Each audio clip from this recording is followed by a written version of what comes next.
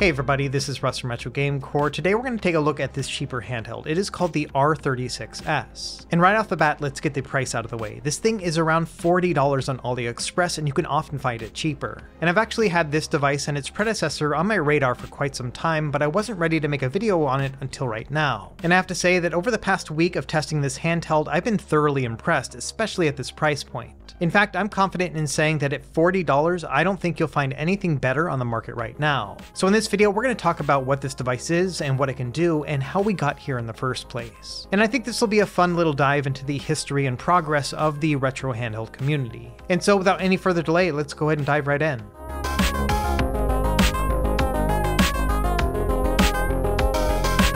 Okay, to start, I want to talk about how we got here in the first place, and none of this would be possible without this device right here, which is called the Odroid Go Advance. Now, this device first came out in early 2020, right before the pandemic started, and this is made by a company named Hardkernel out of South Korea. Now, this device came out before I even owned a retro handheld, but all the same, I did pick one of these up a couple years ago on sale. But to be honest, I've never actually taken it out of its box until today, and so I think this video is a pretty fitting place to do that. Now, one of the things that made the OG OGA such a unique device is that it actually arrived unassembled. And so if you wanted to buy this device, you had to put it together yourself. Now they include all the tools that you would need, and so it kind of turns into like an adult-sized Lego project instead. And for me, I've been waiting for a rainy day so that I can put this thing together, but as you can imagine with a busy YouTube channel, I never actually have a quiet rainy day. So this will just be a project that I will save for later. One thing I will say about the OGA is that it had a lot of complaints about the hardware build quality. In particular, a lot of people didn't like the feel of the controls. Now fast forward to later in 2020, this guy appeared. This is the Anbernic RG351P. Now this is a clone of the Odroid Go Advance, the exact same hardware inside, but they did make a couple upgrades, for example dual analog stick controls, and also an OCA laminated LCD panel. And so this did have a lot of upgrades over the OGA, but also was a little bit more expensive. It was about $110 when it first came out in September of 2020. And in addition, there were some things that were a little bit less than stellar on this handheld. Number one, it didn't have Wi-Fi, and it also had a 3x2 aspect ratio with a little bit of a lower resolution. This made it really good for Game Boy Advance emulation, but all the other systems were a bit of a compromise. Either way, the RG351P was a huge success, and it inspired Anbernic to make other devices with the same chipset, but with different form factors. And so a few months later, the next one they made was called the RG351M. Now this one is almost a dead ringer for the RG351P, but it's got a couple upgrades. For example, has a metal shell, which gives it a nice sturdy feel, and it also came with built-in Wi-Fi. Now, other than that, there is no upgrades to this device, so same chip and same screen, all that same experience, but just with a little bit more of a premium quality to it. All the same, at this point, a lot of people were asking for a more traditional 480p or 4x3 aspect ratio display. And sure enough, a few months later, they created their next device, which is the Anbernic RG351V. Now V stands for vertical, as you can tell this one is of a Game Boy design, and this is also the first Anbernic device with a wood panel design to it. So either way, this was the first Game Boy style Anbernic device that they released, and this was back in like March of 2021. And thankfully, this one did have that 4x3 aspect ratio display with a 480p resolution. And this kind of set the stage for a lot of other handhelds within this chipset to release with this screen as well. Overall, I like this device a lot. It had built-in Wi-Fi, and the controls were okay, if not a little bit cramped, just by virtue virtue of being a vertical. Either way, for Christmas of 21, this is actually the device that I gave out to all my friends because I thought it was the best one available at the time. But still, there was a segment of people, myself included, that wanted a 480p display but with a horizontal handheld. And sure enough, in September of 21, Anbernic released their next handheld, which was the RG351MP. I still don't really know what the M and the P are supposed to stand for, but either way, this is a device that's kind of a Frankenstein of all the others that they had released within this chipset. So number one, it was a metal device, and I really liked the blue color option that they had here. In addition, they had upgraded the screen to that 480p resolution. Now bear in mind, this is still the same RK3326 chipset that we've seen in all these other devices, but either way, this one seemed to be the definitive version of all those handhelds. There is only one feature that this device really lacked, and that unfortunately was the built-in Wi-Fi. I think a lot of this had to do with the metal shell that they used here, maybe they weren't getting a good Wi-Fi signal, but either way, that was the one compromise that I found on this device device that kept it from being kind of perfect at that time. So in the end, this is the last RK3326 device that Anbernic released back in September of 21. However, at the same time, there were other companies also making other clones of the Odroid Go Advance, and the most prolific among them was Powkiddy. Now I'm not going to show off all the devices that they released, there's a ton of them there, but I would say that their most significant release at the time was actually the RGB20S that you see right here. Now you might be familiar with this device already because it kind of had a viral moment last year in 2022 on TikTok. In fact, this device was a huge success because of that viral exposure. Now for me personally, I was kind of lukewarm on it. I thought that the controls here were pretty lousy, and I thought that the ergonomics were also pretty darn uncomfortable, and so I did a review of this and basically nothing else about it. Now the interesting thing about the RGB20S is that it's actually a clone of the Anbernic RG351MP. That's the blue metal device we were just looking at. And so as a result of basically copying those hardware internals, you're able to use the SD cards from the 351MP in this device as well. And so it was a little bit ironic that a clone of a clone here in the RGB20S ended up being the most successful RK3326 device in terms of sales. However, it had nothing to do with the retro handheld community, it was just people on TikTok seeing it and then buying it. Either way, that success then spurred on a couple other clones from there. And probably the most prominent among them is this one here called the R35S.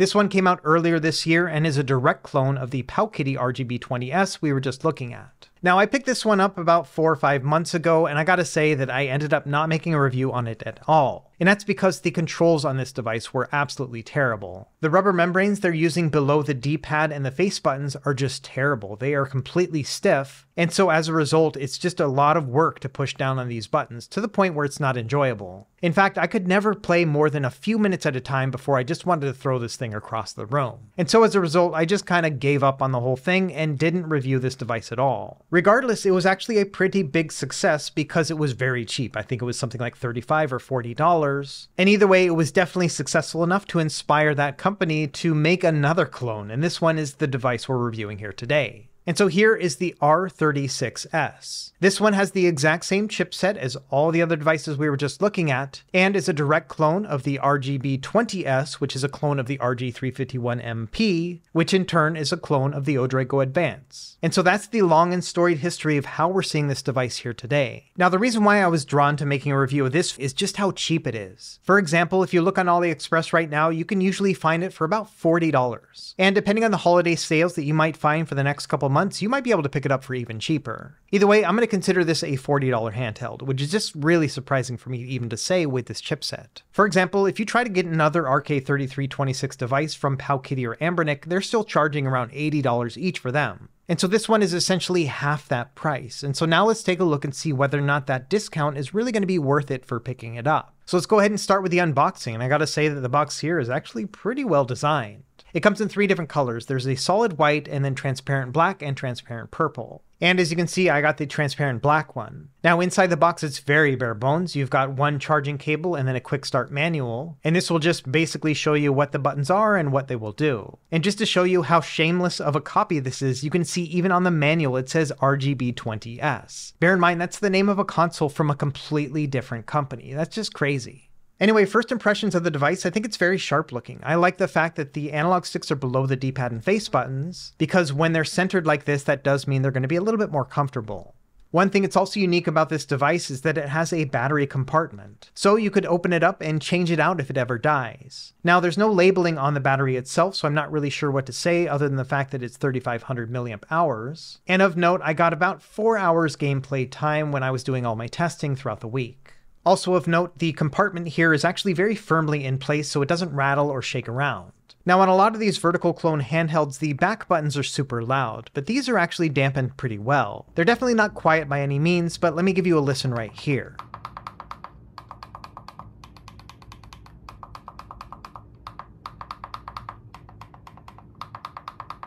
So I think overall that's pretty acceptably loud for me, I got no major complaints. Now let's take a look at the rest of the device, starting with the left side. Here we've got a power and reset button, and then also an SD card slot, which will be where you put your games. Of note, even the cheapest base model will still come with a 64GB card that's going to be preloaded with a bunch of different ROMs. Now on the right side, we have our system card hidden behind a quality control sticker, and then also our volume up and down buttons. So now let's take a look at the controls here on the front of the device. We'll start with the D-pad. I will say that the rubber membrane here is a lot softer than it was on the R35S. In fact, when pushing on the cardinal points, it's pretty solid and has a nice responsive feel to it. And so I think they greatly improved the controls here to give it a more retro kind of classic feel. However, one thing I noticed when trying to rock the D-pad around into diagonals, it didn't have a very good pivot. Instead, it just kind of has a flat feeling to it when you press from the center and then try to roll it around. So already I'm a little bit concerned about that, so let's do a couple D-pad tests right now. As always, we're going to start with the contra test, so I'm going to push down on the D-pad and then rock it left and right right.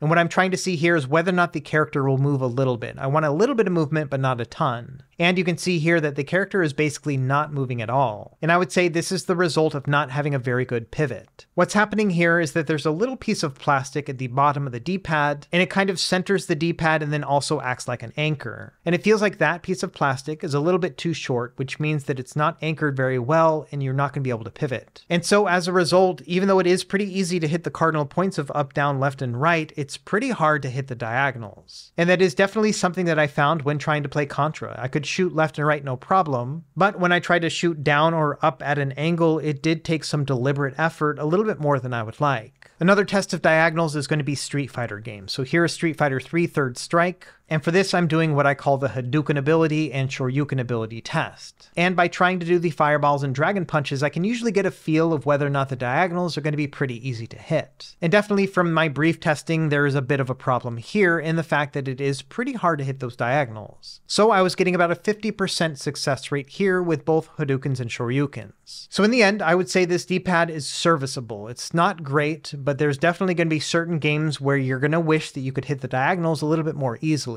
So overall, I would say I'd give it maybe a 5 or a 6 out of 10. It's not the worst in the world, and it's certainly an improvement over its predecessor, but it's definitely not in the league of something like an Anbernic or even a Powkiddy device. Next, let's take a look at the face buttons. Now, these have also been improved. I think they're probably using the same softer membrane. In fact, they're actually very nice and responsive. They have a little bit of a mushy quality to them, but still will bounce up pretty quickly. So really no major complaints when it comes to the face buttons at all. Next up, we have the function buttons here in the center. Now, these have a clicky micro switch connection to them, and they are a bit on the loud side, and they also are pretty loose in the shell, so they kind of slide around within there. However, I was surprised to find that when shaking it, it actually didn't rattle as much as I thought it would. So let's do a quick sound test here of the buttons and then a shake test.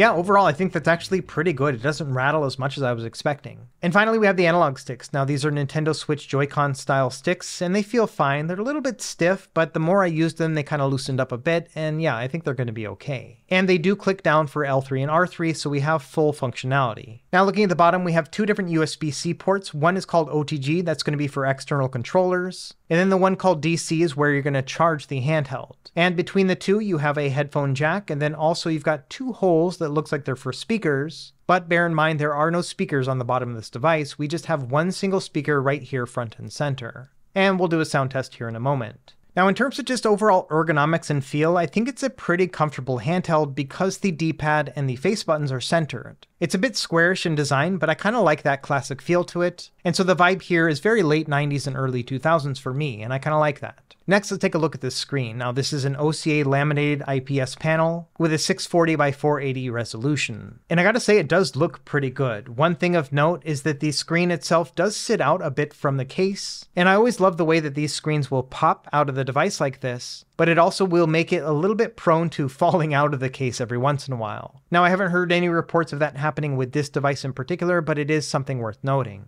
Now let's do a couple size comparisons. We're going to start with the RG351V, considering that this was the first 480p 3.5 inch display that we found with this chipset. And right off the bat, you can see that the R36S is actually quite a bit smaller. Not only are the bezels smaller, but the device itself is just a little bit more compact. And so between the two, I think there are some pretty nice improvements on the R36S, at least in terms of ergonomics and design. But all the same, if you don't have the 351V, you may not know what this size really means. And so let's take a look at some other vertical handhelds. We'll start with the OGs. So here is the DMG Game Boy as well as the Game Boy Color. And you can see that in terms of height, it's about the same size as the Game Boy Color, but a little bit wider. And of course, all around, it's much smaller than the original Game Boy. Next, let's take a look at those clone devices. So the RGB20S on the right, and then the R35S on the left. And you can see this one is quite a bit taller than the other two, but about the same width. And honestly, I like the height here. I think it does give it a little bit more of an ergonomic feel. Here's a couple other vertical devices, starting on the left with the XU10. I just reviewed this device about a week ago and I really liked it, but it is a lot more expensive. This one's about $70 altogether. And then finally on the right, we have the Anbernic RG353V. This one has the Rockchip 3566 chip inside, so it is quite a bit more powerful. But you can see in terms of just design and look, it's actually pretty similar between the two. Next, here's a comparison against some of these smaller vertical handhelds. These two are the darlings of the retro handheld scene this year. We have the Anbernic RG35XX on the left, and then the Miyoo Mini Plus on the right. Now, I would say these two devices are a lot more pocketable, but these two are nowhere near as powerful as the R36S. They'll basically cap out at around PS1, whereas the R36S is going to play a lot more systems, which we'll demonstrate here later in the video. So in the end, yeah, there's a lot of variance between sizes when it comes to vertical handhelds, but I guess you could say it's somewhere between the size of a Miyoo Mini and an Analogue Pocket. So it's just kind of there in the middle, and I think it's a really good place to be. I'm not sure if this was something that everyone would consider to be pocketable, but it's definitely something that I could probably grab and take around with me on travel or something like that. Either way, let's go ahead and start it up and have a look at what software we're working with here with the stock operating system. And like I mentioned, bear in mind that this will come preloaded with a 64 gigabyte card full of games.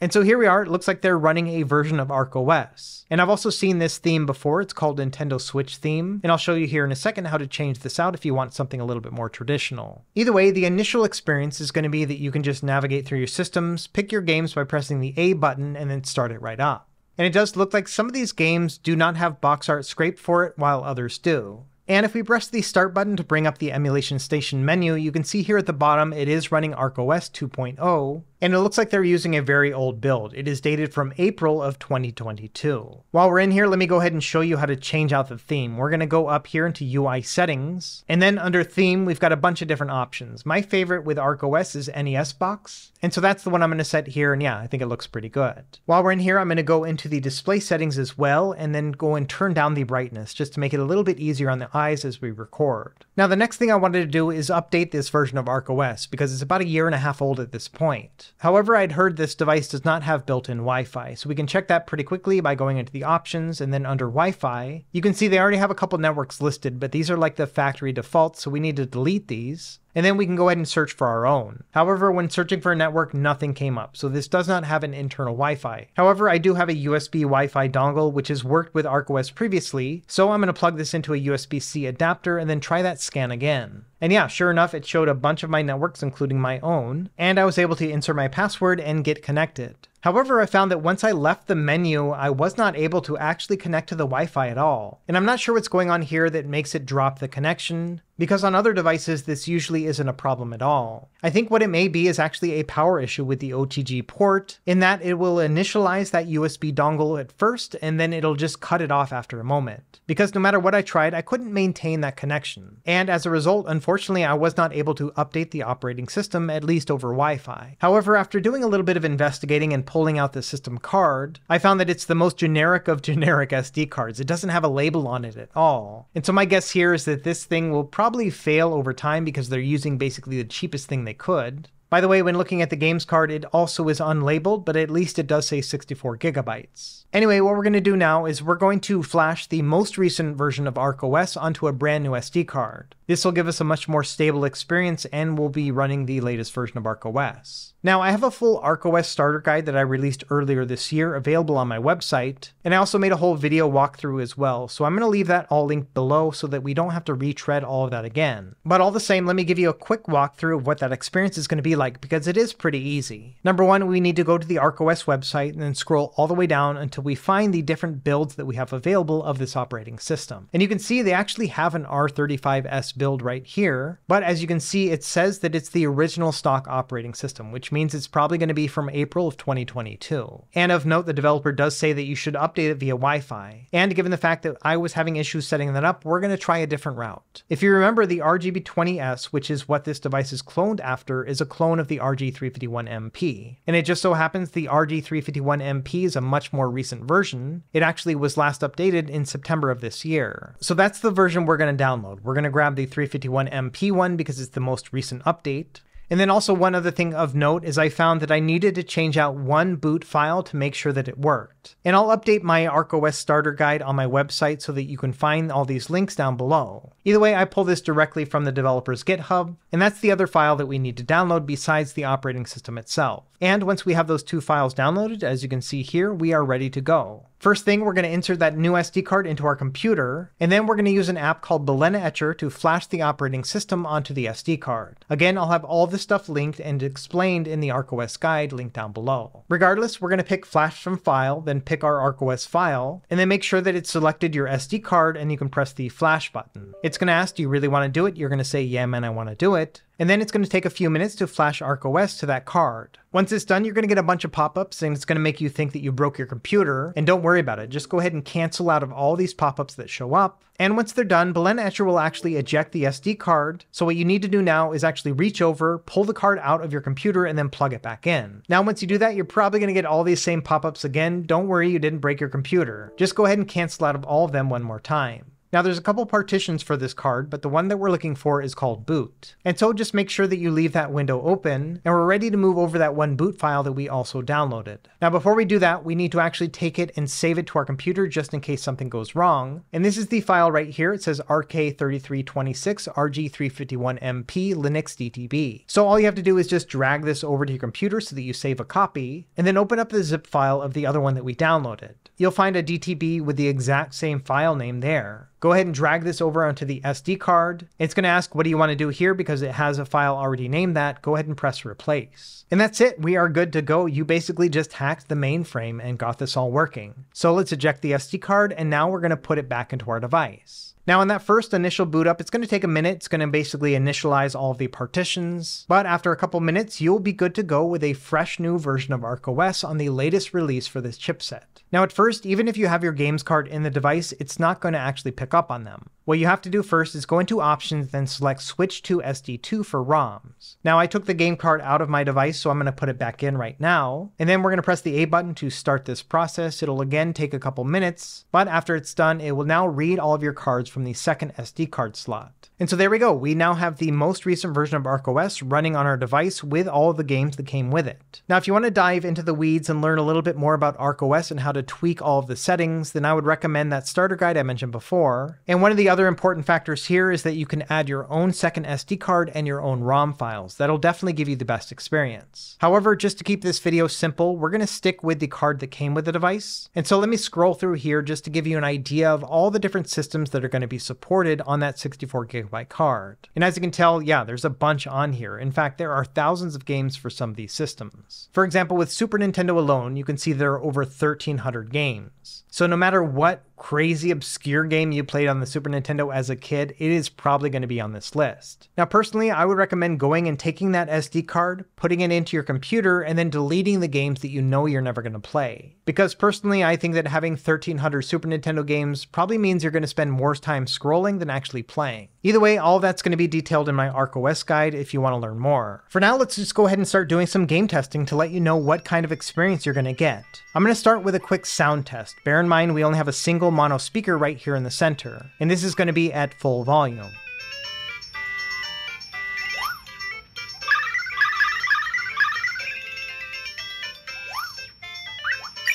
Honestly, I think the sound here is pretty good, especially at this price point. It does get nice and loud, and all the different parts of the soundstage are easy to hear. So really no complaints when it comes to the audio quality overall. Now let's start moving through our system, starting with the easiest to play games and then moving our way up. Starting with Game Boy and Game Boy Color and Game Boy Advance, all these systems are going to play at 100% speed, absolutely no problem here. And like I mentioned, the stock card is going to have thousands of these games, so anything that you can think of playing will already be on this device ready to go. Same thing when you get to the home console systems, so Nintendo, Super Nintendo, Sega Genesis, all these are going to run really well, and the catalogs here are going to be quite comprehensive. However, one thing to bear in mind, with these preloaded cards, it is very much so a double-edged sword. Even though, yes, many of these games are going to be loaded up on here, some of them may not be the versions that you're expecting. For example, they might be in a different language, or often the manufacturers won't realize it and they'll put a bunch of ROM hacks inside. This game right here, Super Punch Out, is a good example on Super Nintendo. From the moment I started the match, I had my super power bar at the bottom completely filled up, and even if I got hit, I didn't lose any health or any of that power gauge. And in the regular game, that's not supposed to happen. So this is like a cheated or hacked version of the game. And while it is pretty cool to just basically cruise through the entire game, I bet that's probably not the experience you're hoping for when you're trying to relive those like childhood moments. And so I would very much so recommend that you add your own games. Obviously, I'm not going to tell you how to do that because you're on your own to find them, but it is going to give you a more curated and personalized experience. Either way, let's go ahead and move on and test out these other systems, starting with arcade next. Now, when it comes to arcade, many games are going to play just fine. In fact, all of your 80s classics, early 90s, and even some mid 90s games play just fine. Basically, all the way up to the CPS 3 or Street Fighter 3 catalog.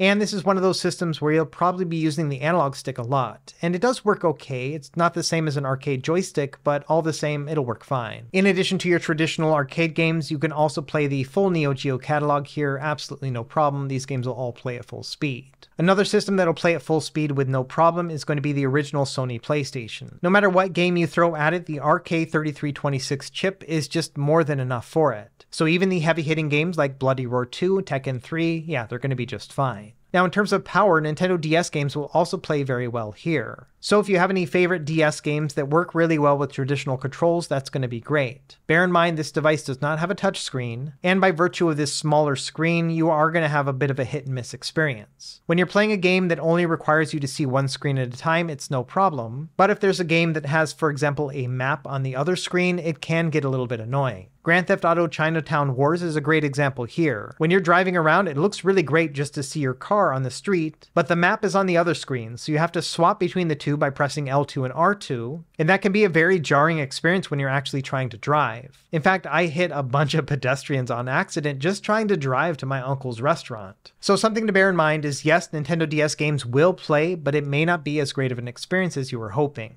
Next, let's move over to the systems that will struggle on this device. And we'll start with Nintendo 64. Now, by default, ArkOS is running the RetroArch emulator, and as you can see, many games are going to struggle. Here's a worst case scenario with Cruisin' USA. This one runs at about half speed using the default RetroArch core. Now in my ArkOS guide, I show how to change out the emulators to get better performance specifically with this system, and so often using these standalone emulator options will give you a better performance. Personally, I like to use the Mupen standalone one with the Rice graphic backend. It's not going to make every single game run at full speed, but it is going to give you better performance. Now unfortunately, this emulator will not show you the frames per second on screen, so I can't really say what is actually getting you, but I will say that maybe half the Nintendo 64 catalog will be at least somewhat playable as long as you're okay with some slowdown here and and there. And it's a similar story with Sega Dreamcast. This one actually runs the best with the RetroArch emulator, but the thing is here you have to kind of pay attention to the frames per second, because this emulator will use a frame skip, and so anything above 30 frames per second will actually feel fairly smooth.